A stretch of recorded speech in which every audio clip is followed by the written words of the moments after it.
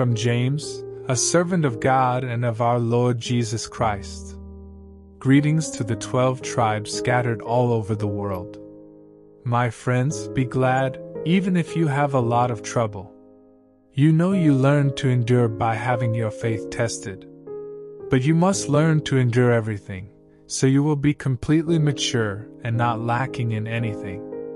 If any of you need wisdom, you should ask God, and it will be given to you. God is generous and won't correct you for asking. But when you ask for something, you must have faith and not doubt. Anyone who doubts is like an ocean wave tossed around in a storm.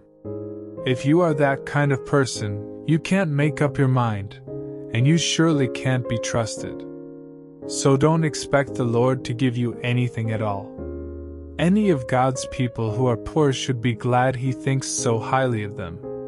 But any who are rich should be glad when God makes them humble. Rich people will disappear like wild flowers scorched by the burning heat of the sun. The flowers lose their blossoms, and their beauty is destroyed. This is how the rich will disappear, as they go about their business. God will bless you if you don't give up when your faith is being tested. He will reward you with a glorious life, just as He rewards everyone who loves Him. Don't blame God when you are tempted God cannot be tempted by evil, and He doesn't use evil to tempt others. We are tempted by our own desires that drag us off and trap us. Our desires make us sin, and when sin is finished with us, it leaves us dead. Don't be fooled, my dear friends. Every good and perfect gift comes down from the Father who created all the lights in the heavens. He is always the same and never makes dark shadows by changing. He wanted us to be His own special people, and so He sent the true message to give us new birth. My dear friends, you should be quick to listen and slow to speak or to get angry. If you are angry, you cannot do any of the good things God wants done. You must stop doing anything immoral or evil. Instead, be humble and accept the message planted in you to save you. Obey God's message. Don't fool yourselves by just listening to it. If you hear the message and don't obey it, you are like people who stare at themselves in a mirror and forget what they look like as soon as they leave. But you must never stop looking at the perfect law that sets you free. God will bless you in everything you do if you listen and obey and don't just hear and forget. If you think you are being religious, but can't control your tongue, you are fooling yourself, and your religion is useless. Religion that pleases God the Father must be pure and spotless.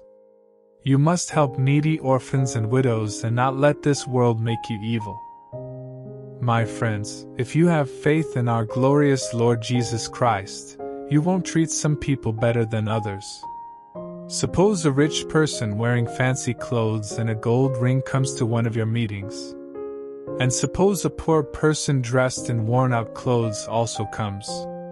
You must not give the best seat to the one in fancy clothes and tell the one who is poor to stand at the side or sit on the floor. This is the same as saying that some people are better than others, and you would be acting like a crooked judge. My dear friends, pay attention. God has given a lot of faith to the poor people in this world. God has also promised them a share in His kingdom that He will give to everyone who loves Him. You mistreat the poor. But isn't it the rich who boss you around and drag you off to court? Aren't they the ones who make fun of your Lord? You will do all right if you obey the most important law in the Scriptures. It is the law that commands us to love others as much as we love ourselves. But if you treat some people better than others, you have done wrong, and the scriptures teach that you have sinned. If you obey every law except one, you are still guilty of breaking them all.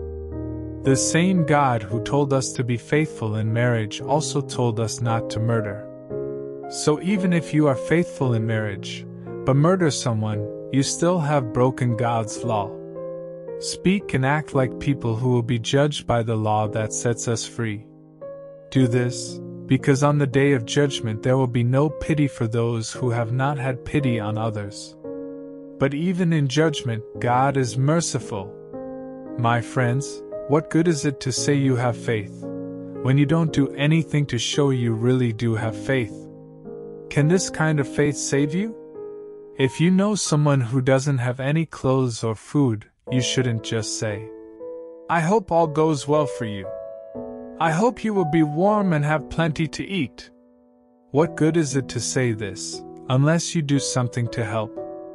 Faith that doesn't lead us to do good deeds is all alone and dead.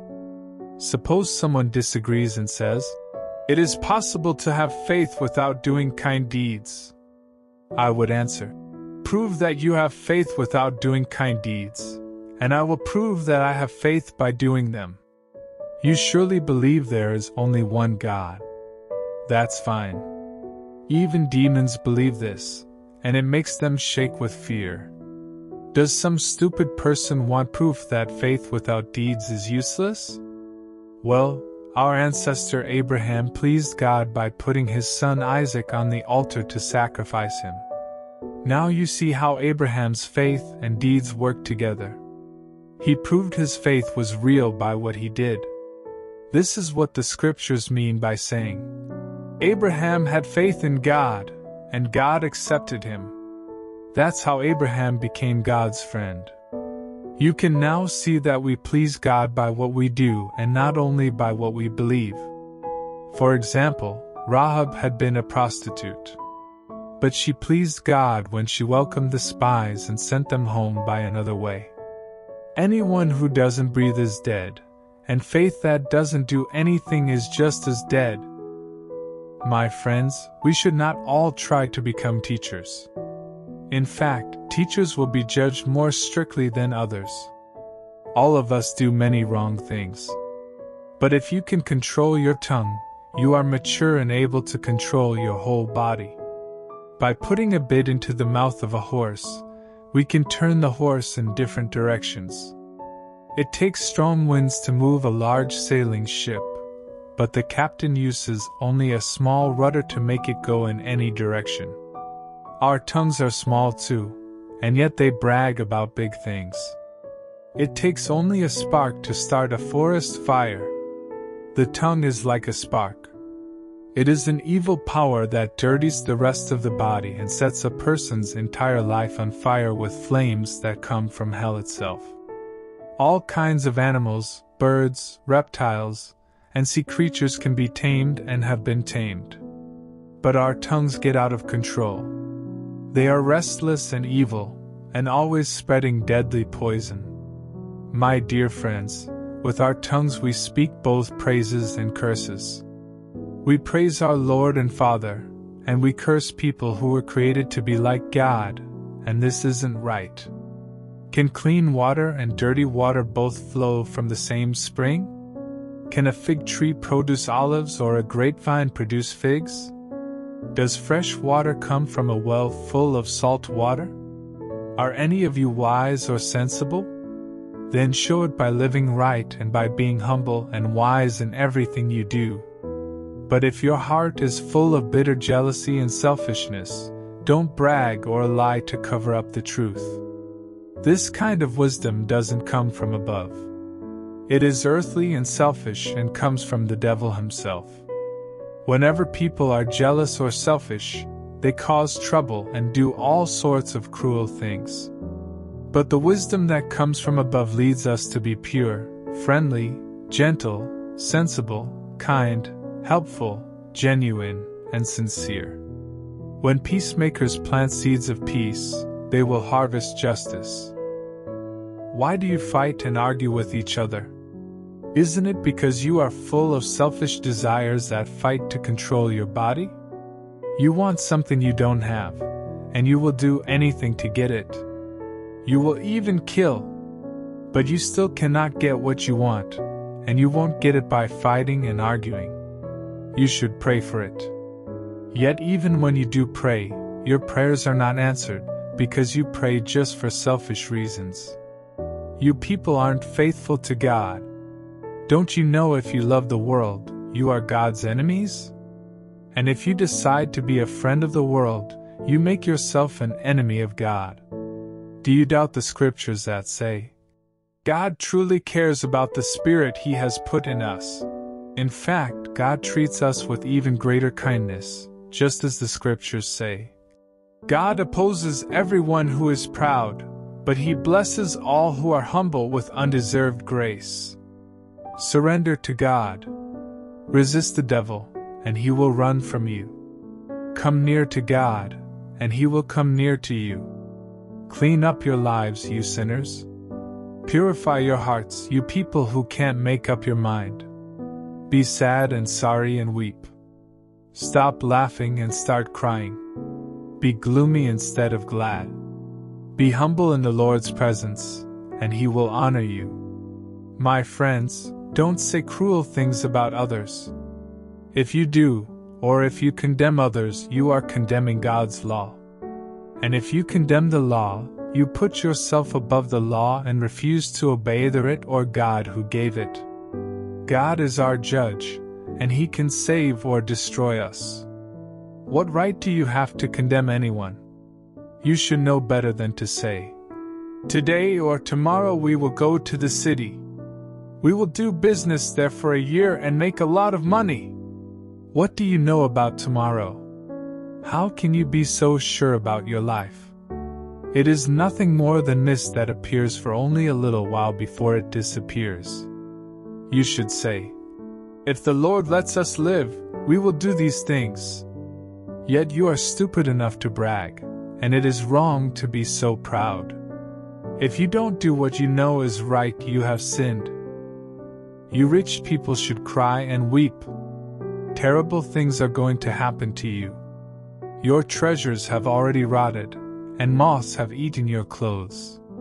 Your money has rusted, and the rust will be evidence against you, as it burns your body like fire. Yet you keep on storing up wealth in these last days. You refuse to pay the people who worked in your fields, and now their unpaid wages are shouting out against you. The Lord All Powerful has surely heard the cries of the workers who harvested your crops. While here on earth, you have thought only of filling your own stomachs and having a good time. But now you are like fat cattle on their way to be butchered. You have condemned and murdered innocent people who couldn't even fight back. My friends, be patient until the Lord returns. Think of farmers who wait patiently for the autumn and spring rains to make their valuable crops grow. Be patient like those farmers and don't give up. The Lord will soon be here. Don't grumble about each other or you will be judged, and the judge is right outside the door. My friends, follow the example of the prophets who spoke for the Lord. They were patient, even when they had to suffer. In fact, we praise the ones who endured the most. You remember how patient Job was and how the Lord finally helped him. The Lord did this because He is so merciful and kind. My friends, above all else, don't take an oath. You must not swear by heaven or by earth or by anything else. Yes or no is all you need to say. If you say anything more, you will be condemned. If you are having trouble, you should pray. And if you are feeling good, you should sing praises. If you are sick, ask the church leaders to come and pray for you. Ask them to put olive oil on you in the name of the Lord. If you have faith when you pray for sick people, they will get well. The Lord will heal them, and if they have sinned, He will forgive them. If you have sinned, you should tell each other what you have done. Then you can pray for one another and be healed. The prayer of an innocent person is powerful, and it can help a lot. Elijah was just as human as we are, and for three and a half years his prayers kept the rain from falling. But when he did pray for rain, it fell from the skies and made the crops grow. My friends, if any followers have wandered away from the truth, you should try to lead them back. If you turn sinners from the wrong way, you will save them from death, and many of their sins will be forgiven.